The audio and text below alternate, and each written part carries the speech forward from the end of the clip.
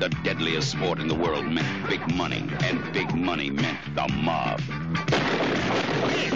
But when the mob tried to muscle in on the brothers, the brothers muscled right back in spades. Jim Brown, Fred Williamson, Jim Kelly, Richard Roundtree.